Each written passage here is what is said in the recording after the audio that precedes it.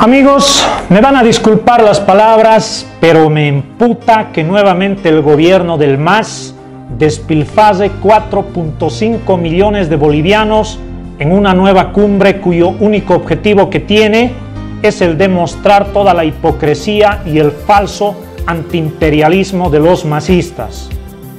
Evo Morales, en un gesto de completo oportunismo, quiere aprovechar el malestar que existe en importantes capas de la población mundial contra las políticas del presidente Donald Trump. Miren, el gobierno tiene todos los mecanismos e incluso instrumentos comunicacionales para difundir su posición política sobre Donald Trump, aunque con certeza no se sabe bien cuál es, porque es un chambergo total. Por un lado, recordemos en el aniversario del Estado plurinacional el pasado 22 de enero, y las grabaciones se los puede encontrar, el vicepresidente García Linera reivindicaba y elogiaba la llegada de Donald Trump al poder junto a sus políticas proteccionistas. Y después, a los días salió a la luz que Sacha Llorenti, el embajador de Bolivia en la ONU, participó de un sabroso almuerzo imperialista con Donald Trump y toda su cúpula. Ahí está toda la hipocresía de estos señores del MAS. Amigos, el país tiene muchas otras prioridades que atender antes que botar la plata en cumbres para la megalomanía y los caprichitos de don Evo Morales, que quiere darse el gustito de ser vitoreado por supuestos delegados y falsos izquierdistas que se trae de otros países a quienes les pagará todos los gastos, pasajes y estadía con plata del pueblo no, señores, está mal. El país debe gastar lo poco que tiene de recursos en temas de salud, servicios básicos, educación. Por favor, hay miles de niños que no tienen que comer, que están en las calles.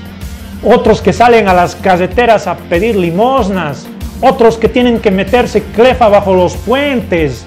¿No sería mejor gastar esos 4.5 millones de bolivianos en acciones que solucionan, aunque sea en algo, ese tipo de problemas, ni siquiera países que les sobra la plata despilfarran así como este gobierno.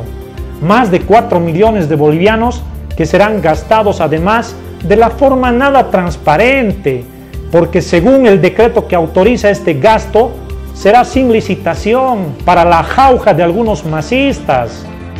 Todo para la impostura de que son antiimperialistas, anticapitalistas, antiburgueses, cuando en la práctica son todo lo contrario.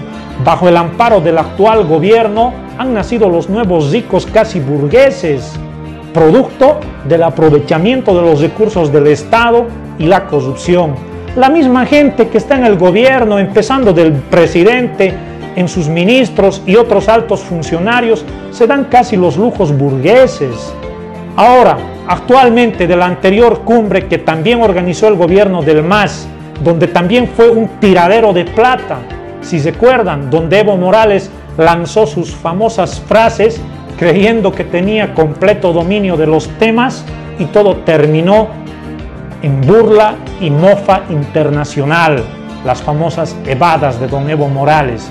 Esperemos que ahora no termine en lo mismo, recuerden, ahí está continuación. Del pollo, el pollo que comemos está cargado de hormonas femeninas. Por eso los hombres cuando comen este pollo tienen desviaciones en su ser como hombre. Todos tomamos Coca-Cola lamentablemente.